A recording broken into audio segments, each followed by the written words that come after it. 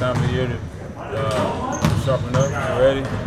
Uh, real season. Uh, so good stuff in there. Some stuff we need to work on. Some stuff we're doing great. Uh, so you know, got ball back last game. Uh, working back in, working myself back in. We'll get Thabo back shortly, hopefully, and uh, kicking. You know, we're, we're, we really aren't worried about a seed going into the playoffs. I don't think, know, because we know the type of team we can be So just grinding and working hard like everybody else. Does it get daunting a little bit these last five games, knowing that for a lot of this season was almost a foregone conclusion you were a playoff team. Now you're fighting a little bit.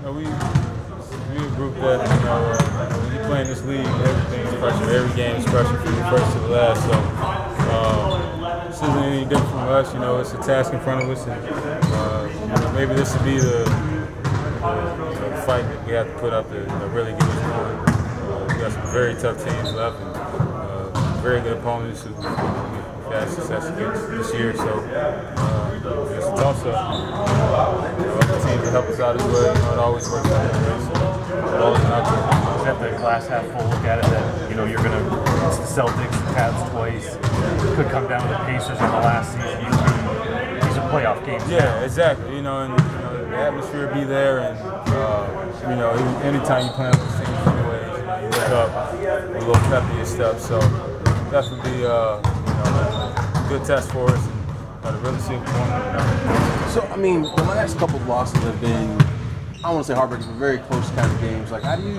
like bounce back from that and then get ready to play on Thursday? Um, you know, just look at the things you can do a little better. Uh, at least we're giving ourselves a chance. Uh, you know, there was a point in time in the season where those games weren't even close. So uh, you know, we're still taking a step. And you know, one thing I learned about you know life, growing up being 27, that you have to have patience. You know, it may come a month out, it may come you know, two minutes in the last game of the season where everything clicks, but you know, still believing, still being patient, you know, still showing up, working hard. And then from there, you said you guys did some things well. So, what are things you guys feel like you are doing well? Uh, I think you know, playing harder longer.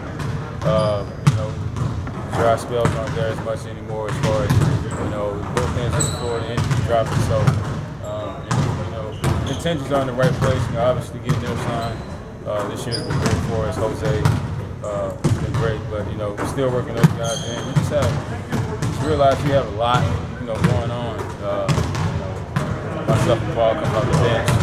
Uh, Jose son, Dennis being a young uh, star point guard for a playoff team. So and once you put that into consideration, you know, I think we're doing pretty well. It's just the most adversity you've dealt with in the season as far as just having this many injuries and this many setbacks? Yeah, it's just this is as wild as I've seen it, man. Uh, you know, we're out there fighting, man. And, uh, you know, every possession matters. And that's kind of mindset we have right now. Uh, you know, guys out there giving their all. You know, Coach Bud is definitely, uh, you know, on one, so to speak, as far as you know, he's this is the most enthused I've seen him in a, in a very long time. He's, he wants it just as much as we do. We love that your head coach is out there. He's just hard to do. Uh, certain drinks after the game. You know, he's, he's very, you know, cool, calm, and collected. You know, when he's off the floor, you see him, you know, get that rage in his eyes. You know, it does something for us. What's the time take for you as far as working back, getting back into the lineup, starting full minutes, that kind of thing? Uh, it's just day to day. Uh, you know, I did some stuff today live, live action. Uh, feeling pretty good. In the weight room uh, every day. Uh, treatment. Basically doing you know what I was doing before, but you know, just more of it. Uh, that's a day to day thing. You know, I'm feeling great, and you know, I'm gonna go out there and just play as hard as I can. Last time we talked, you, you mentioned, you know, kind of hearing the whispers about, you know, contract and different things of that nature. Like, do you kind of feel an extra pressure to kind of get back and contribute and whole? Uh, I mean, like I said, every time no one's gonna put more pressure on themselves than I am. You know, I'm me than I am. So, uh, you know, obviously I want to be great. I'm not there yet, so I mean, obviously I could be pissed at my performance, but I know these things take time. Uh, showing up every day, you know, players don't get great in one season.